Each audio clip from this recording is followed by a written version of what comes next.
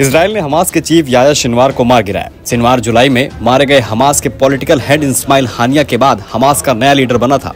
अब इसराइल को लगता है कि हमास के खिलाफ जंग उसने लगभग जीत ली है। शिनवार की मौत पर हमास ने अभी इसराइली रिपोर्ट पर भरोसा नहीं करने की अपील की है।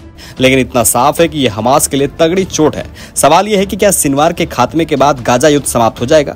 अमेरिका के राष्ट्रपति कमला हैरिस ने बयान दिया है कि सिनवार की मौत से लग रहा है कि गाजा का युद्ध अब अंत की ओर है। इसी बीच इसराइल ने हमास को कड़ा संदेश देते हुए बंधकों को रिहा करने और उनकी सेना के आगे सरेंडर करने को आहन किया है। गुरुवार को इससे पहले पीएम बेंजामिन नेतन्याहू ने इसराइली सेना की तारीफ़ की और याया सिनवार की मौत को बड़ी सफलता बताया। मीडिया रिपोर्ट्स के मुताबिक।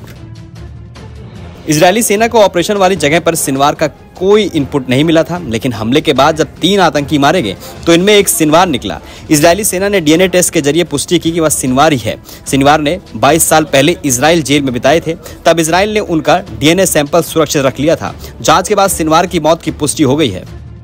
हमास ने सिनवार की मौत की खबरों पर कहा है कि अभी इजरायली रिपोर्ट पर भरोसा न करे और हमारे संदेश का इंतज़ार करे। वहीं हमास को कड़े संदेश में इसराइल के रक्षा मंत्री गैलेंड ने कहा है कि अब उनके पास आत्मसमर्पण करने और सभी बंधकों को उन्हें सौंपने के अलावा और कोई चारा नहीं बचा है। पिछले साल 7 अक्टूबर को हुए हमले के दौरान हमास ने 250 लोगों को बंधक बना लिया था। अभी भी 100 से अधिक बंधक हमास के कब्जे में हैं, जिन्हें इसराइली सेना लगातार ढूंढ रही है।